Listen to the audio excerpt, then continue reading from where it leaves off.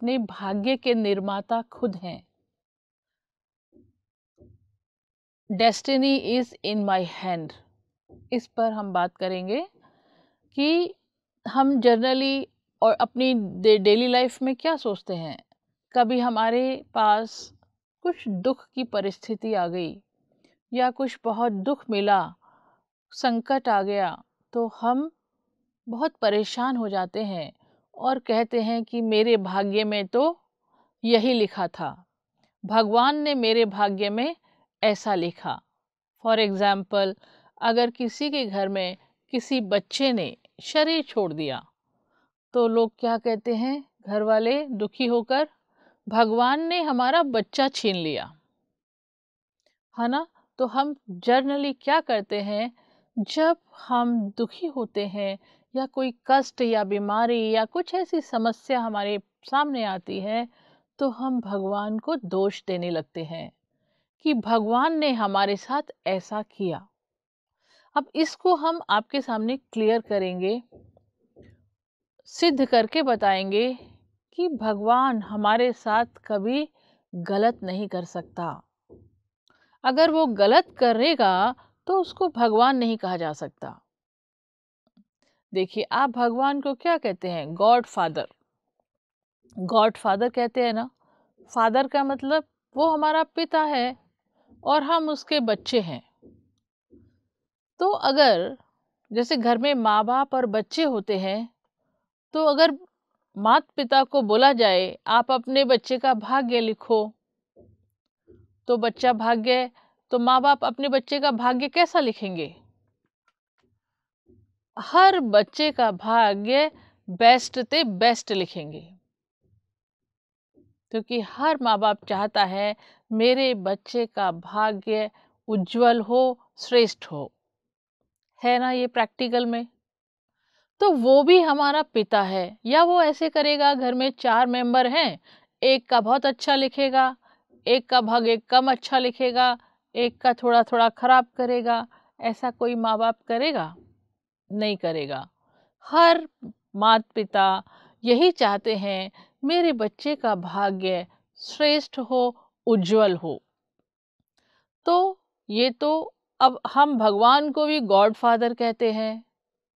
बल्कि पूजा में भी बोलते हैं, तुम ही हो माता पिता तुम ही हो। तुम ही हो बंधु, सखा, तुम ही हो। तो जब वो हमारा मात पिता है तो हम उसके बच्चे हो गए। तो वो एक मात पिता होते हुए हम बच्चों का भाग्य खराब कर सकता है? वो हर बच्चे का भाग्य, अगर उसे भाग्य लिखना होगा तो वो हर बच्चे का भाग्य श्रेष्ठ लिखेगा। अच्छे से अच्छा लिखेगा। आप एग्री हैं इस बात से? अब आप बताइए, लेकिन हम सबका भाग्य तो अलग अलग होता है। हम एक फैमिली में भी अगर चार भाई बहन हैं, वो भी एक माता पिता के ही बच्चे हैं तो उन सब का भाग्य भी अलग अलग होता है। किसी का अच्छा होता है, किसी का थोड़ा कम होता है, किसी का तो डिफरेंट होता है, हर एक का भाग्य डिफरेंट है। तो आप बताइए, इसका मतलब है कि भगवान तो हमारा भाग्य नहीं लिखता। तो कर्मों की गुह्य गति। कहते हैं ना, जैसा कर्म हम करते हैं, उसका फल हमें ज़रूर मिलता है। अच्छे कर्म का अच्छा फल मिलता है, जिसको हम सुकर्म कहते हैं, और बुरे कर्म का बुरा फल मिलता है। ये लॉ ऑफ़ कर्मा है, ये कर्मों की गति है, ये फिक्स्ड है, इससे कोई नहीं बच सकता। अच्छा करेगा तो अच्छा पाएगा ही। ये हंड्रेड परसेंट सत्य है, होना ही है। और अगर हम कुछ गलत करेंगे तो उसका रिज़ल्ट भी हमें भोगना पड़ता है। यहाँ पर हमारा भाग्य बनता है। तो पहली चीज़ ये डिसाइड हो गई कि भगवान हमारा भाग्य नहीं बनाता। भगवान हमारा भाग्य नहीं लिखता। अगर वो लिखेगा तो सब बच्चों का भाग्य अच्छे से अच्छा लिखेगा। लेकिन हम सबका भाग्य अलग अलग होता है। हम भाई बहन हैं, फिर भी हमारा भाग्य अलग अलग है। सबके कर्म अलग अलग होते हैं। तो सबके कर्म का प्रभाव, वो जो होता है, वो हमारी डेस्टिनी बनाता है। जैसे कहते हैं ना कि सबका पुण्यों का, सबका एक अकाउंट खुला हुआ है। भगवान के पास सबका अकाउंट है। कहते हैं ना, हम भगवान के पास जाएँगे तो क्या क्या मुँह दिखाएँगे या हमने क्या किया है? तो हर एक का अकाउंट, जैसे बैंक में आप अकाउंट खोलते हो ना, ऐसे ही हम सबका इंडिविजुअल अकाउंट खुला हुआ है भगवान के पास। उसमें जो हम अच्छा कर्म करते हैं, उसका अच्छा फल क्रेडिट हो जाता है, जमा हो जाता है और जो कर्म हम गलत करते हैं, उसका फल मतलब माइनस हो जाता है। जैसे रुपए ऐड किए तो जमा हो गए। रुपए निकाल दिए बैंक से तो माइनस हो गए। तो बैलेंस कितना बचा? ऐसे ही हम सबका बैलेंस अकाउंट उस परमात्मा के पास खुला है। और गॉड को ट्रुथ कहते हैं। God is truth. भगवान सत्य है। वहाँ कुछ भी झूठ, असत्य चल नहीं सकता। तो जो हम अच्छा कर्म करते हैं, वो उसमें ऐड हो जाता है। और जो गलत कर्म करते हैं अकॉर्डिंगली वो हमारे अकाउंट से माइनस हो जाता है। तो हमारा भाग्य कौन लिखने वाला है? हम खुद अपने भाग्य के निर्माता हैं। हम अपना भाग्य खुद लिखते हैं। तो जितना जितना हम अच्छे कर्म करेंगे, हमारा भाग्य अच्छा बनता जाएगा और जितना जितना हमसे गलत कर्म होंगे, हमारा भाग्य माइनस में जाता जाएगा। तो ये हमारे ऊपर डिपेंड करता है कि हम कैसे कर्म करें। अब हम चाहते हम सभी हैं कि हमसे अच्छे कर्म हो, हमसे हर कार्य श्रेष्ठ हो। अब इस पर विचार करो कि हर कार्य हमसे श्रेष्ठ हो, उसके लिए हम क्या करें? उसके लिए हमारी सोच वो इम्पोर्टेंट है। हम कैसा सोचते हैं? कहते भी है ना कि जैसा हम सोचेंगे, वैसा हम बनेंगे। तो सोच माने हमारा हर थॉट हमारा हर संकल्प कैसा है, उसको हमें चेक करना है।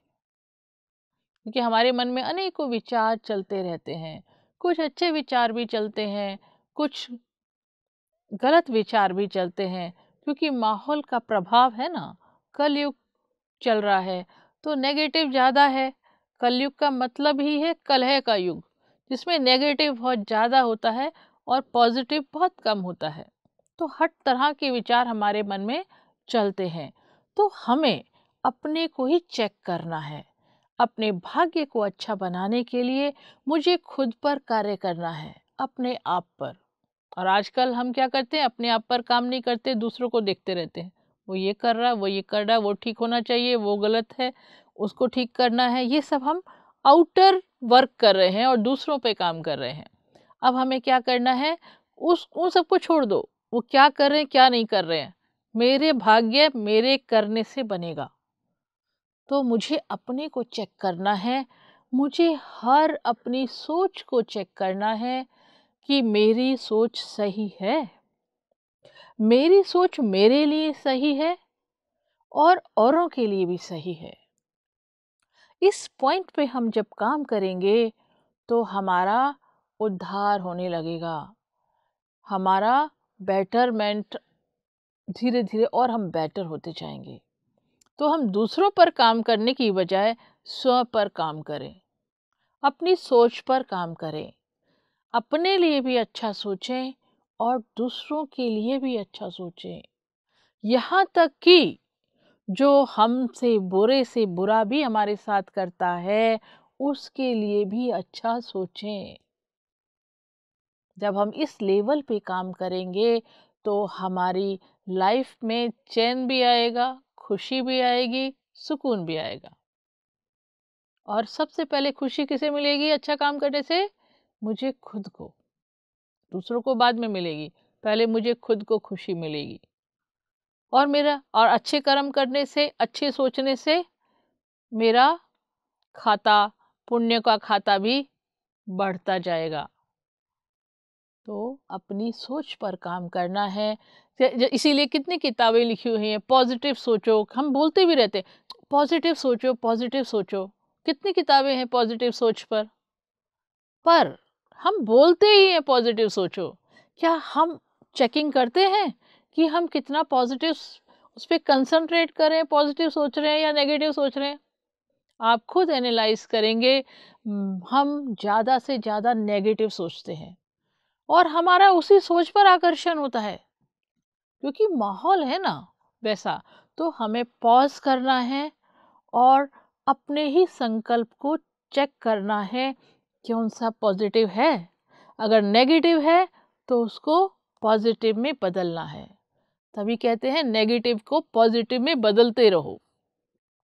तो जब सारे पॉजिटिव हमारे संकल्प पॉजिटिव हो जाएँगे हमारी सोच पॉजिटिव हो जाएगी तो जैसा संकल्प हम करते हैं वैसा ही संसार हमारा बनता जाता है। अभी हम नेगेटिव सोच रहे हैं तो हमारे सं, हमारे आसपास क्या हो गया?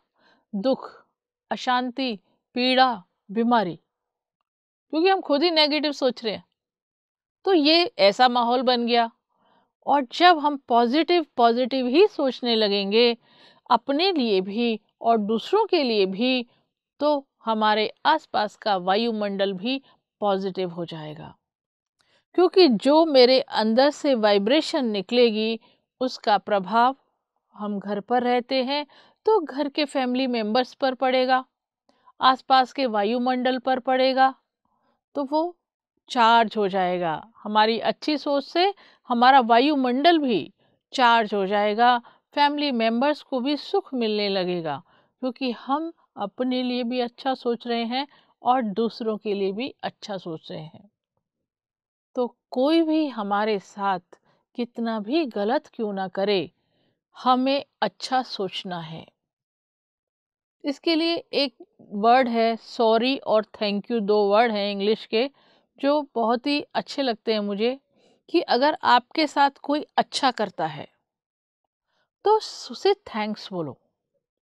तुरंत थैंक यू उसको भी सुख मिलेगा। और अगर कुछ मुझसे गलती हो गई तो तुरंत सॉरी बोल दो। ये भी हमारे दो वर्ड्स बहुत काम करते हैं, जिससे हम बहुत चीज़ों से सेफ़ हो जाते हैं। तो अपने सोच को परिवर्तन करना है, पॉजिटिव बनाना है। देखिए, जैसे हमारी हमारी सोच होती है ना, वैसा ही हमने कोई पॉजिटिव संकल्प किया। जैसा हमारा संकल्प होता है, वैसे हमारे अंदर फीलिंग आती है। और जैसा संकल्प होगा, वैसा ही हमारा एक्शन होता है। और जैसा मतलब वैसा ही हमारा कर्म होगा। जैसा हम सोचेंगे वैसा ही हमसे बोल निकलेगा, वैसा ही हमारा कर्म होगा। और जैसा हम रोज कर्म करेंगे, वो कर्म हमारा क्या बन जाएगा? हैबिट बन जाएगा, आदत बन जाएगी।